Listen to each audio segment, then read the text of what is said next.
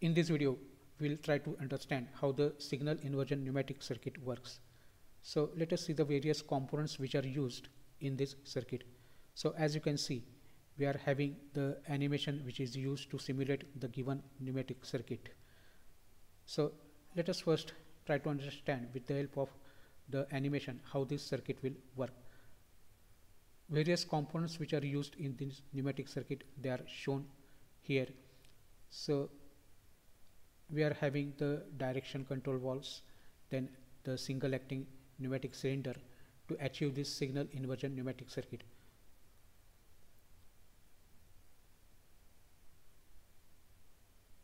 Now as you can see there are two direction control valves which we are using in this circuit and those are used to operate the single acting pneumatic cylinder.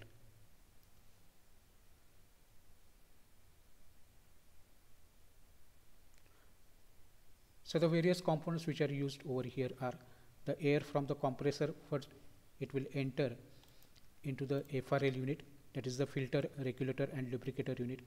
Then it will enter into the manually operated spring offset three way two position direction control valve. Three way are P R and 1 that is pressure then reservoir and one is the uh, port which is going to the cylinder or the valve so this is the pressure port this is the reservoir port and one is the port which is connected to the another component of the system.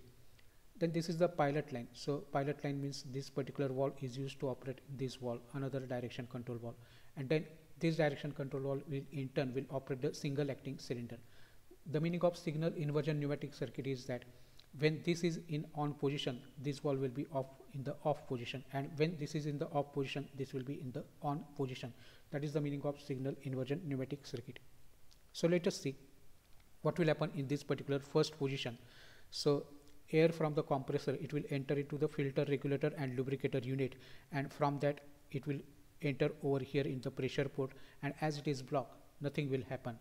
So as this is in the off position now you can see this pilot line is not operated but now you can see over here that the pressure port P is now connected over here and from port 1 the air will enter into the port 2 and it will act on this side of the cylinder side of the piston and will cause the forward motion of the piston. So we can say that when this position when this valve is in the off position this is in the on position this is working.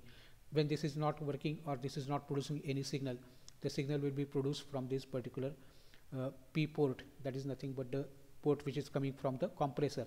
So high pressure air compressed air will be entering from this side will enter into the port 1 from port 1 to port 2 and will act over here on the cylinder side and will cause the forward motion of the piston. So this is the meaning of the signal inversion. So let us see with the help of animation how this will work. So these are the two valves so we can say that when valve v1 is on v2 is off and when valve v2 is off this will be on